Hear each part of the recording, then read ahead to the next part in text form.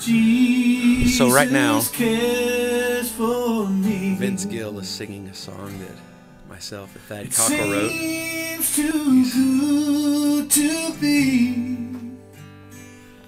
Can't really sing him. But yes, I'm doing a duet with Vince Gill. now we reach. Jesus cares for me. Hey Vince, just wanted to thank you for uh, for singing on the album. It's a huge Yeah, honor. It's a, It's a treat. Oh, You know, it's one of the things I've. got there? I don't know. I've, I've kind of had a bucket list all my life of things I've Look at that. wanted to do. I wanted to. Look, you know, I've got number that two. down here. Yeah. You might need to move Amy up on the chart there, but anyway. Well, it's. Uh, Yeah. I guess I don't know if it's, in It's or- order. it's a working list. Yeah. well, anyway, thanks a lot. So, uh, wow, who knew? It's pretty awesome. I'm on his bucket list.